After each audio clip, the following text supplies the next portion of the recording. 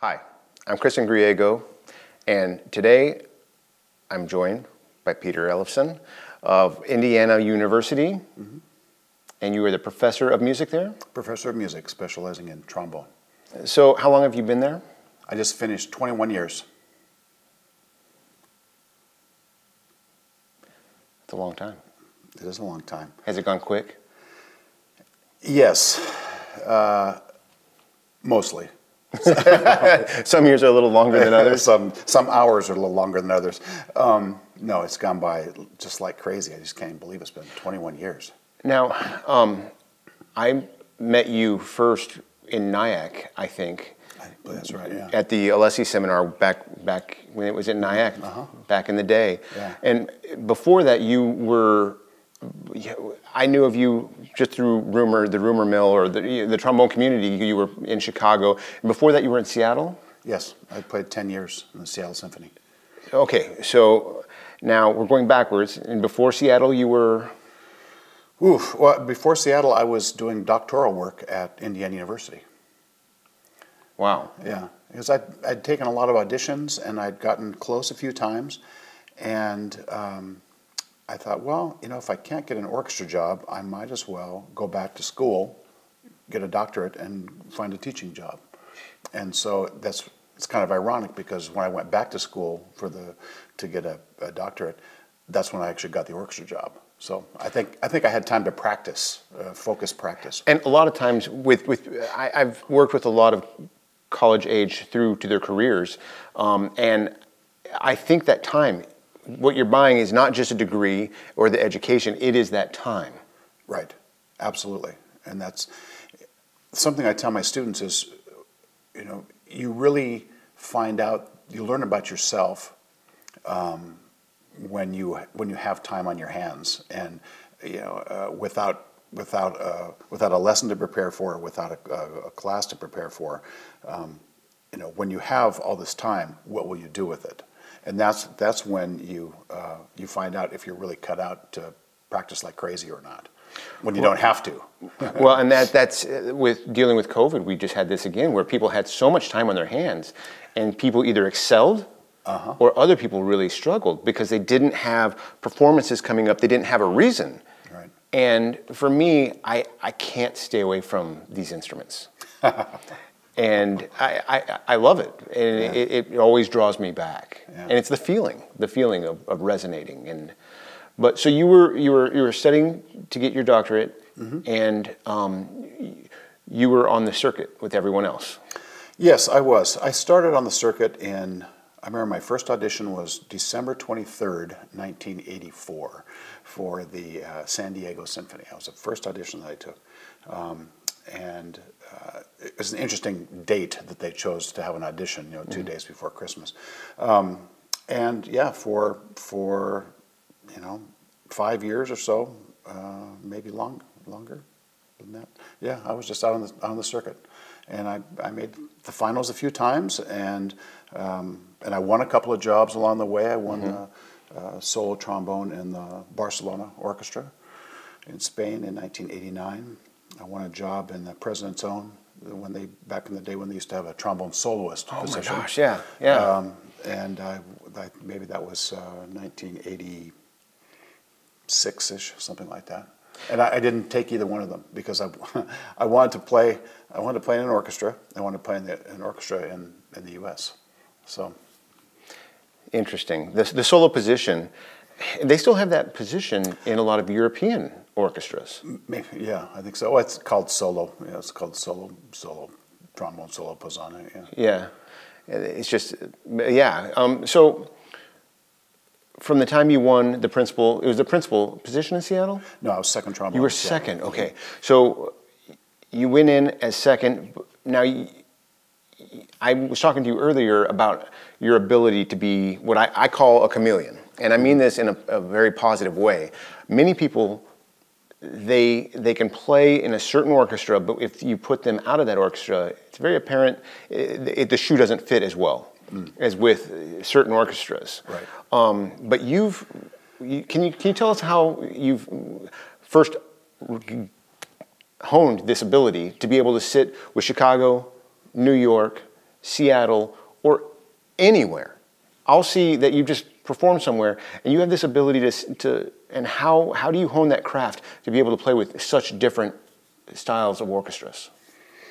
Well, I was thinking about that um, yesterday, and I was actually talking with my wife about that, and she said, you know, part of the skill that she believes that I have is was developed by listening, doing a lot of listening when I was young, listening to different orchestras, listening to music all the time, and I've developed a sense of you know of just being able to hear well.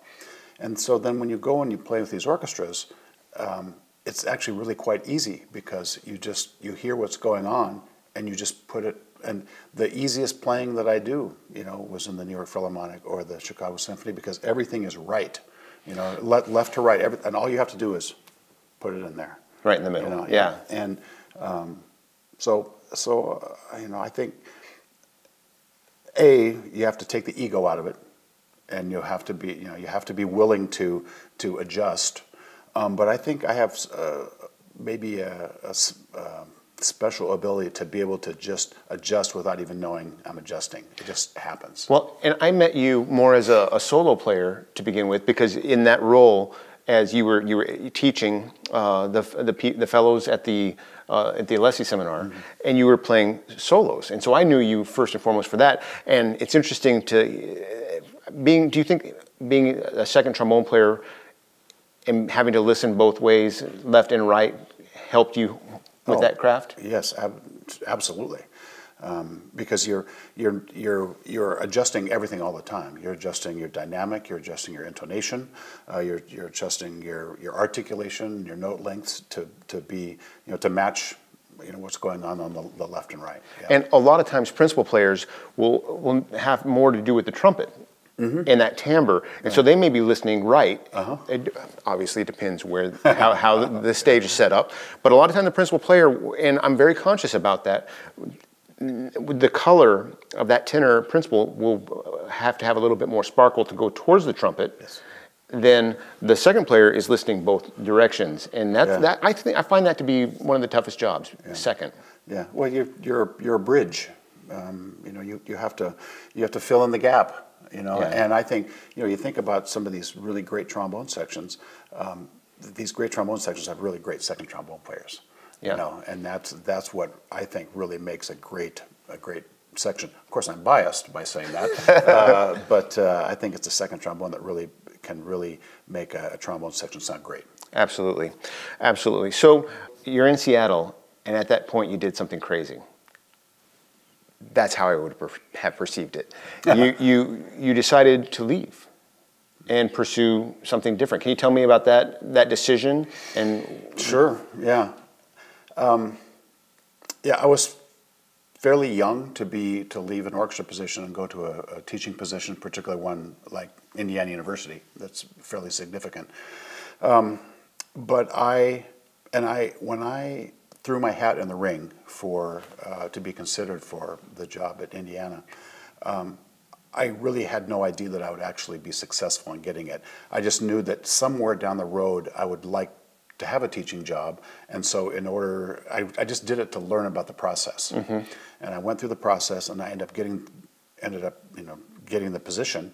And then it's like, okay, well. Uh, you know, there was that phrase, better, you know, was it be- better 10 years too early than five minutes too late or something like yeah. that. And I, honestly, uh, all kidding aside, I didn't know if anything that good would ever come my way again. So I just, I, I went for it.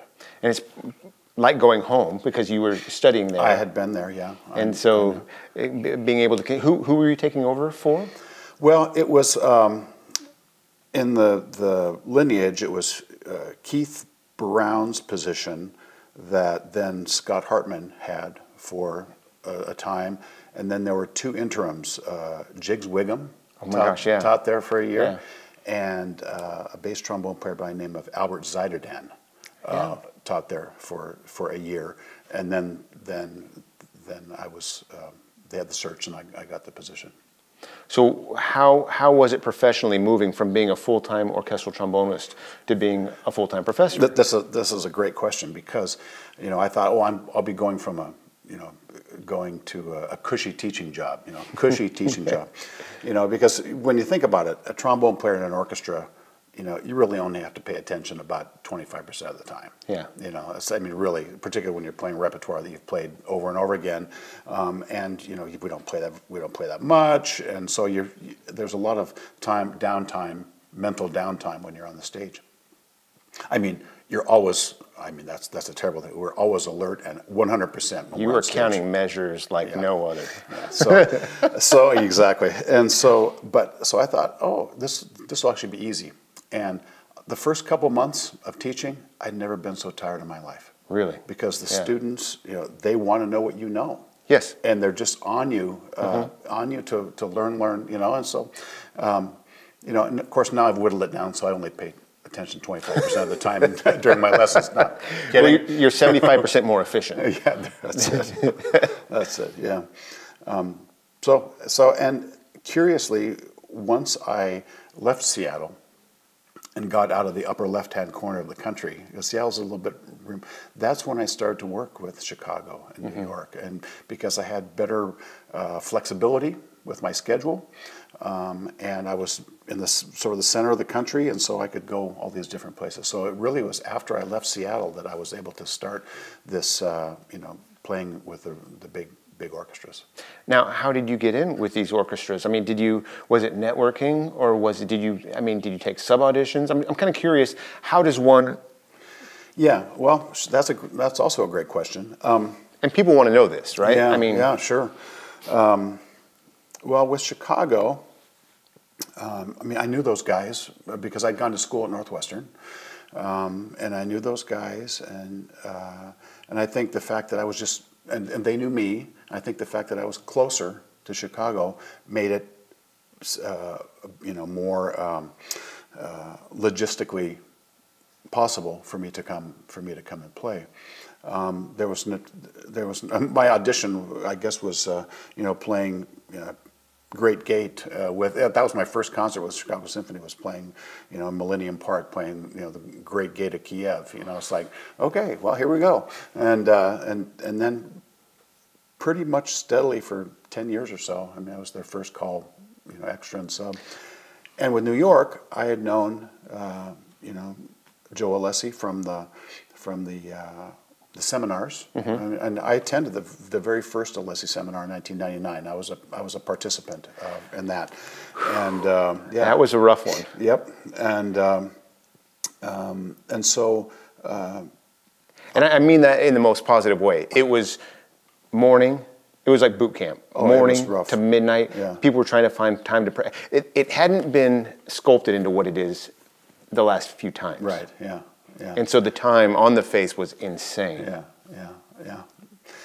But what a great experience. I mean, that's what really lit my fire as far as, you know, playing solos and being, uh, you know, planning recitals and going here and going there was that was having participated in that first Alessi Alessi seminar.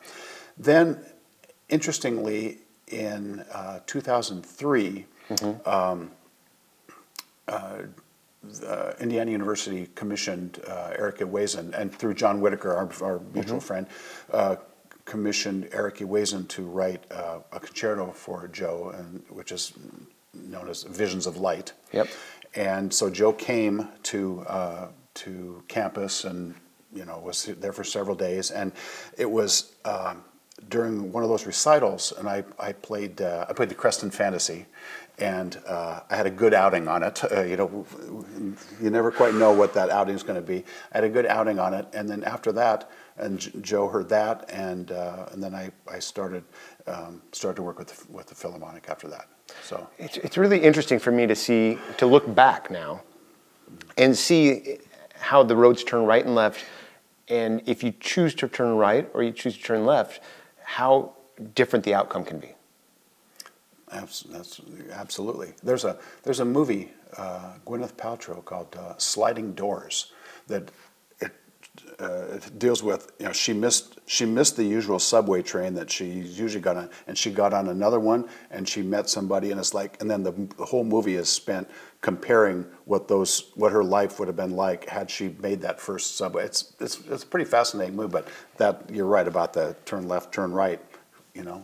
Right. We can connect the dots in reverse. Yeah, absolutely. So, I mean, doing all these things and now now teaching the next generation. I mean, we were just I just visited IU where we had the Boston Symphony out. Yes, yes. And two of the players were alums, Yes. Toby and Steve. Right. And watching their expression, watching their faces and, and their stories, we'd go to dinner and they would talk about their times there. Yeah. And they would go out even to just see the, the, the halls or the rooms that they would practice and go to. Yeah. And, and seeing, it's amazing how many people have been through IU.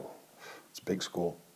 And it, I mean, it's amazing uh, to see the facility and just the quality of students.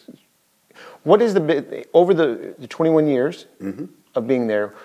What has been the biggest change in in in students, and what can what can students today do to improve more so than students of 20? Because 21 years ago, we didn't have all these distractions. Bingo. And Device distraction. The, and the access. Yes, instantly to just pull it up on your phone, it. see it, read it, Yep. and it may not pertain to that one student. How do you control so that it's it's pertinent to that one student? Well, you know, all I can do is I can guide them. Mm-hmm. You know, um, going back to your earlier question, what I've seen over the past 21 years Mm-hmm. is the the uh, the development of social media Yeah. and, and devices and the addiction that that you know we all have to our devices. I mean, we we we have to learn how to manage our addiction. And I, you know, when I was when I, this was first becoming um, uh, when I was realizing this, you know, maybe 15 years ago, 10, 15 years ago, you know, I was trying to shut it down. I said, you know, you know, but the longer I went on, the more I realized it's here to stay, and we have to manage it. You know, that's because I think about, you know, I think about Joe Alessi and Mark Lawrence and Michael Mulcahy and Charlie Vernon and Jim Markey and you know, I just go on and on and on. The all these people got to be great before devices and social media. Um, and now, you know, I think it's lots of people are just really distracted. I mean, you, you said the word distraction. Yeah. So, and I, I'm I'm very cautious with how much, and I, I, I'm the first. I I love my phone. I mean, I get so. I love your phone too. Because you answer it. yeah. Well, no. Well, that's the thing. I I don't want opportunities to to go by. Yeah. And so if the phone rings, I have the the old freelance mentality was, you know, you, back in the day we had a pager because we were optimists. Oh, yeah, yeah. Somebody's going to need to reach a trombone player Yeah. in Lubbock, Texas. Uh, it could happen. but no, I, you don't want to miss out on opportunities. And you have to be able to, to accept those. But the, the phone, it, it's hard. And I- And even sitting here with you, I found myself wanting to reach for my Yeah, pocket to see if. I had. And it's, it's crazy. I'm, I'm sitting here in the middle of an interview and I'm like, oh, it's not there because I, I left it over Yeah. here. And you know the the times when you you go out and you leave your phone at home, or it's like it's like the whole time you're thinking that you know the president of the United States is trying to get a hold of you. you know, So you made a, uh, you, you're not on social media. no. Can you talk a little bit about that? I was on social media for a year, 2010 to 11, something like that, and I found that it was not contributing anything positive to my life, Yeah. and so I left. Yeah. Um, and so I'm a little bit of a, you know, an outlier in that because, you know, lots of people are on social media and there, there are, there are positives to social media, absolutely. But there are a lot of negatives and I'm seeing that, you know, with, with the students too and just sort of, you know, how sort of neurotic they are about, about, um, what other people think of them and, you know, so, um, no, I'm not, I'm not on social media and, there are times when I think about j- joining, and then I think back to why I left, and I'm reminded why why I'm not. Uh, I'm, I'm okay. I'm, Now- old, I'm old. You have three albums out now. I do. Uh, what, what are they titled? Uh, first one is called Pura Vida, because Mm-hmm. Costa Rica. from the, my, Yeah. our, our association with the, the trombonists de Costa Rica. The second album is called uh, In the Manner of Defaye. Mm-hmm.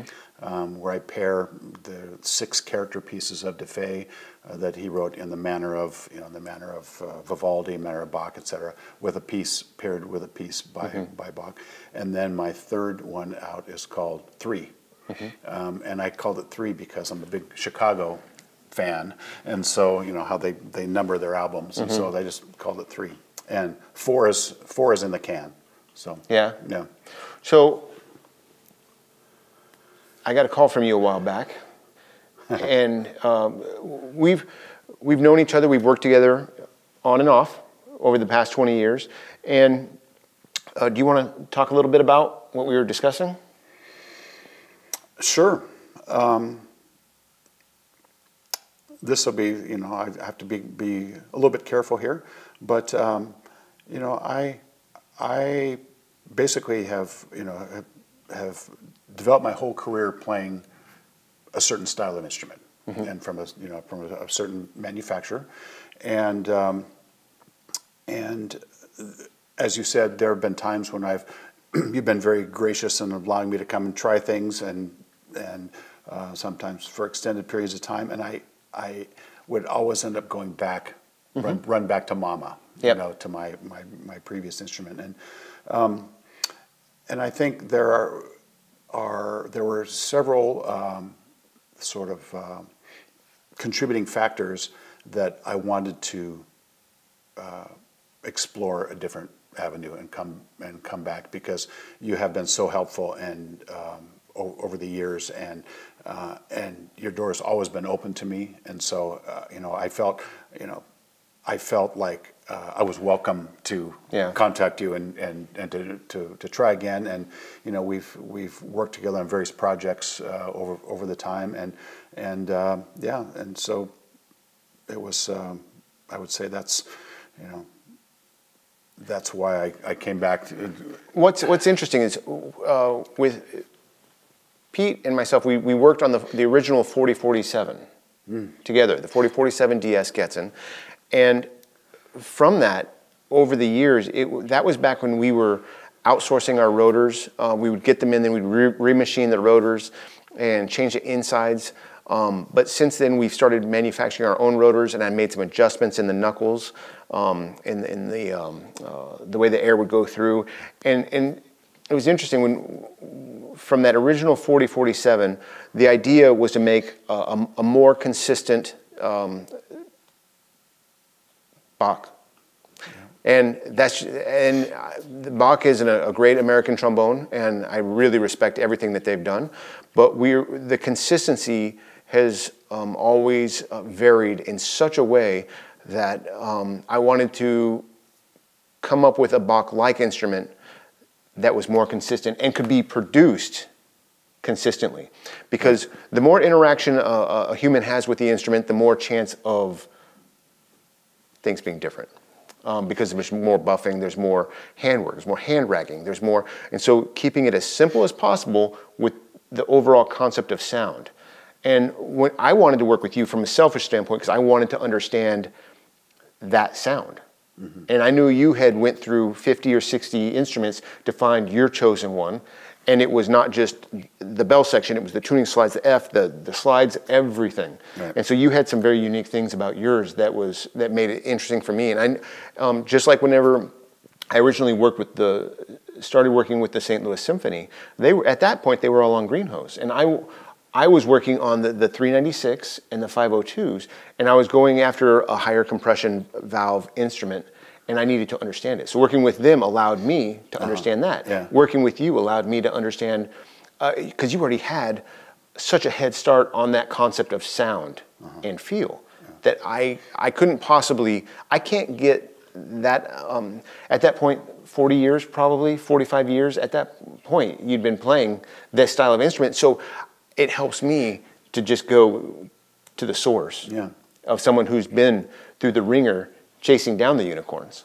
yeah, yeah, and that was that was the sound that I had in my head. You know, when I was when I was in school, you know, I was listening to the Chicago Symphony. Of course, was, you know, yeah. and I was listening to, um, you know, the New York Philharmonic, and they were all playing Bach instruments, and that that's that's that's what I had, and that's that's what I constantly pursued. And the frustrating part for me was I couldn't send a student to a music store Yeah. to go buy the instrument that I had because because uh, there was just there's just a difficulty and there's with uh, consistency. And so with the Getzen 4047, I think we've now with the, the since when I started working with Enzo, we had learned of, of some other uh, techniques with the sheet tuning slides being more consistent all the way um, from the small side of the tuning slide all the way to the big. The material is more consistent in thickness. Where when we were originally working, we had tube, and I think so now the color is a little bit more expansive, Agreed. and the response is a little bit more crystalline. Yes. Just in it's just Yeah, right there. yeah, And there's some things we've with the rotors, the tuning slide, and the, just these small things. This last time when uh, yourself and John came up and we went through it again, it was much easier to hone in on the exact feel and sound. Yeah. And even, can you talk about why you're here this time? Sure.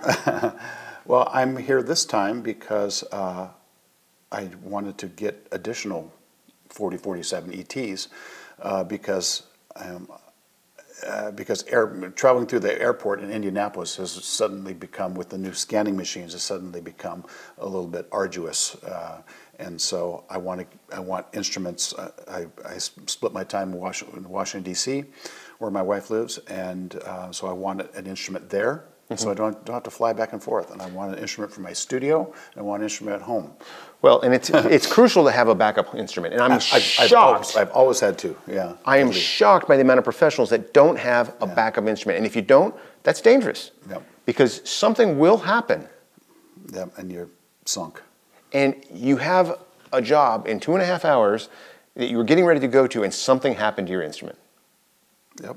And so I, it's, it's, it may not be the same quality, but you need to have a backup instrument if you're a professional. That's something that you're comfortable with. Yes. That's something that you can get the job done. Um, you know, whether your horn is stolen, whether you know it's somebody knocks it off a stand, it gets damaged somehow. Um, it's really important to have a second instrument. So why don't you just get a travel bell? Because I am afraid of that big old weight right there. Um, that's why. That's really that's that's the I'm and it it's it, it must be heavier. Just it has to be heavier because it got that extra thing of, of brass there. It's a little over a quarter pound. Oh, really? Yeah. Yeah.